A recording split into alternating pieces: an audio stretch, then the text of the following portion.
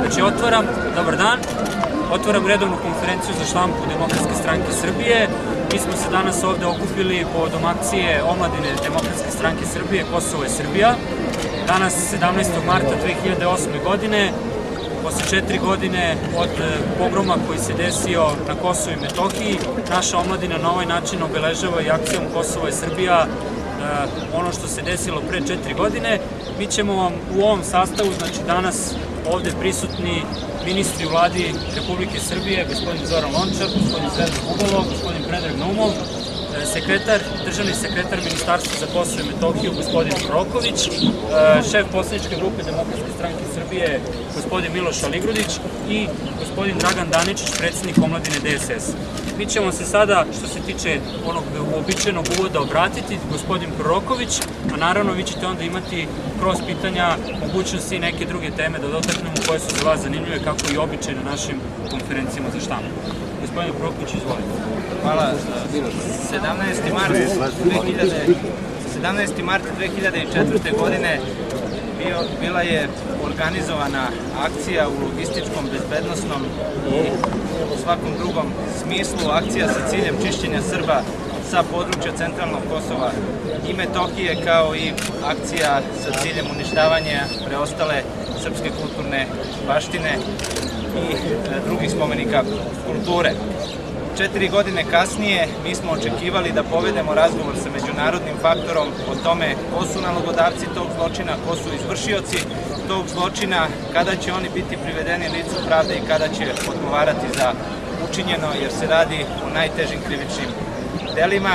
Radi se o jednoj akciji koja je proizvela više hiljada izbeglica i odnela sa sobom nekoliko ljudskih e, života. Nažalost, četiri godine kasnije mi nismo dobili razgovor sa međunarodnim faktorima o tome šta se dešavalo 17. marta 2004. godine.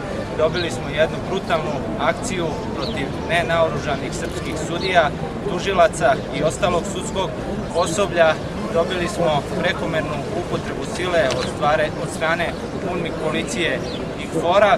Sada je najbitnije da se trenutno stanje u Kosovskoj Mitrovici smiri, da se sa UNMIKom potpiše jedan okvirni sporazum kako bismo u buduće imali okvir u kojem, će, u kojem ćemo funkcionisati i sarađivati, kako situacije ne bi ad hoc i pojedinačno, pojedinačno E, rešavali, a s obzirom na jutrošnju akciju UNMIK policije i KFOR-a, s obzirom na njihovo obrazloženje da je do toga došlo zbog uzurpiranja UNMIK imovine, ja očekujem da se slične mere preduzmu ne samo u Kosovskoj Mitrovici, nego u svim ostalim delovima Kosova i Metohije, gde je od strane Albanaca i EULEX misije takođe uzurpirana pojedina imovina UNMIKA i drugih međunarodnih snaga. Ne može jedan aršin da važi za Srbe na severu Kosova, a da drugi aršin važi za Albance u ostatku pokrajine. Hvala vam i otvoreni smo za sva pitanja.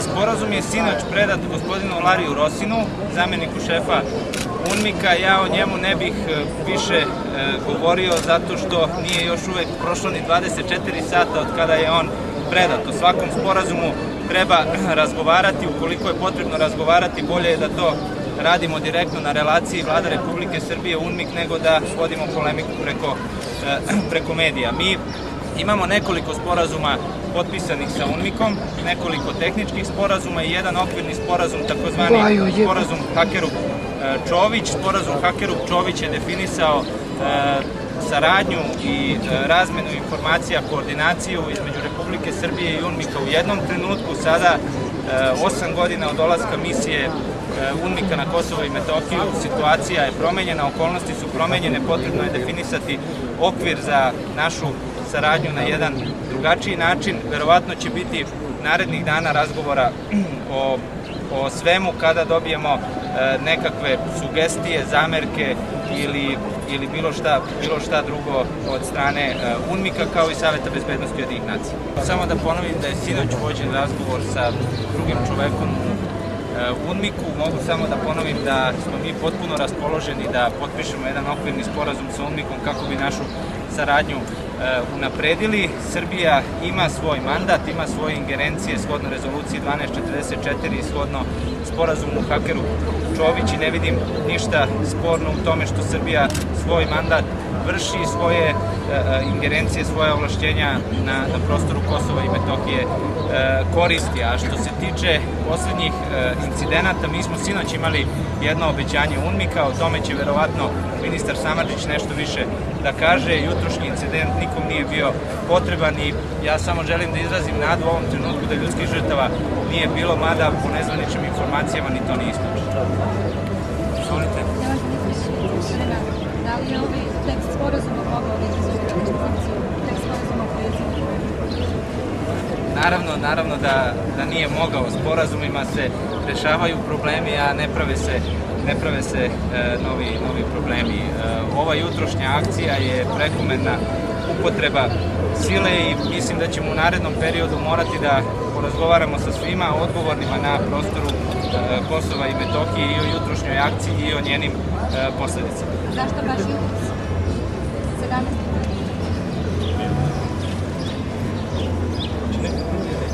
Ajde, izvolite, da uključimo i druge ministre, prosto da ja...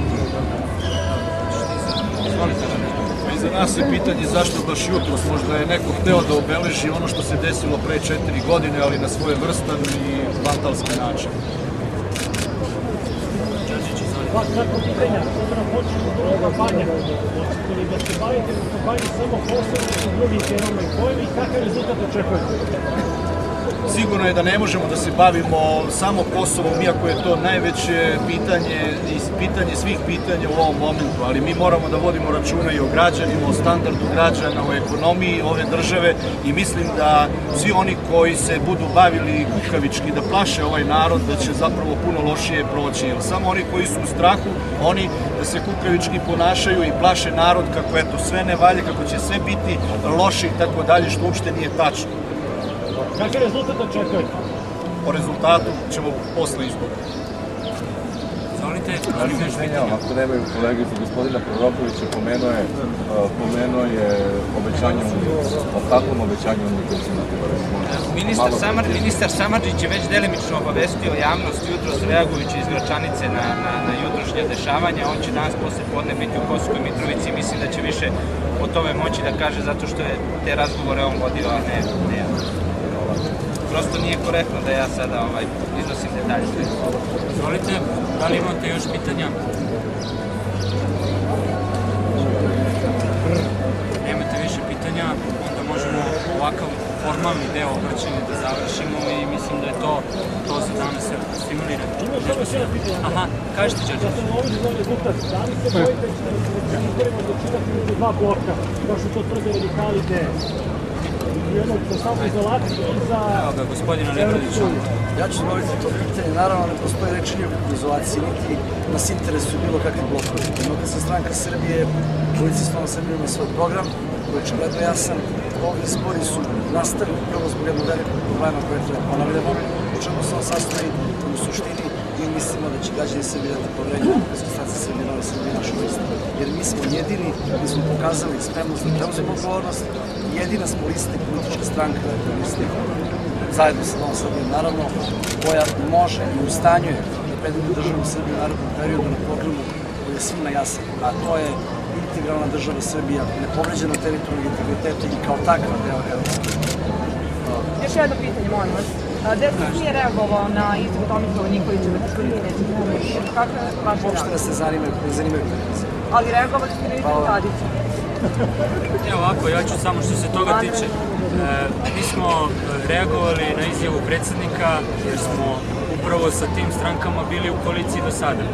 I ne može se na taj način obmanjivati javnost, posebno kad to dolazi od predsednika države. To je nedopustivo da se u intervjuima na taj način obmanjuje javnost i da se stavlja nešto kao činjenica što se nikada nije desilo. Predsednik države je javno rekao u intervju u jednom dnevnom listu da smo mi razgovarali da duže traju razgovori sa Srpskom radikalnom strankom. Ja sam to u subotu jasno demantom i odgovorno tvrdimo takvih razgovora o koaliciji nije bilo Jedini razgovori o koaliciji su vođeni sa Novom Srbijom, sve ovo ostalo je jedna propaganda i ne, žalosno je zaista da ta propaganda dolazi od predsjednika države koji treba da bude predsjednik svih građana, a ne samo jedne stranke i jedne grupe ljudi. Da li imate još pitanja? Nemate, hvala, to je sve što se tiče konferencije za štampu.